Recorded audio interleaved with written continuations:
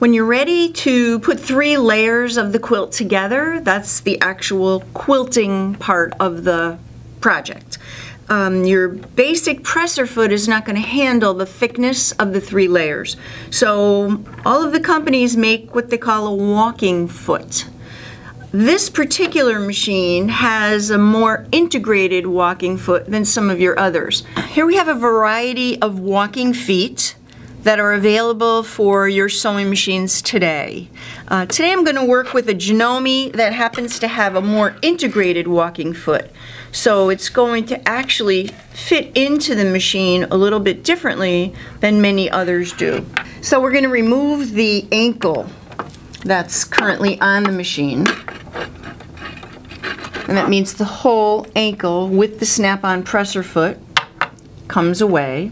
And this is the new one that we're going to put on. So not only does it attach where the ankle would go, but it also fits right into the back of the machine. Make sure to give it a little extra twist with your screwdriver so it's nice and secure.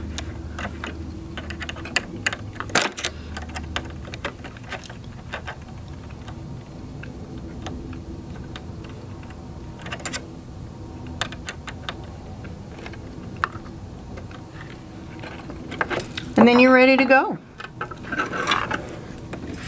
So we're going to take a, a, piece of fabric that has a piece of batting and sandwiched between two layers of cloth.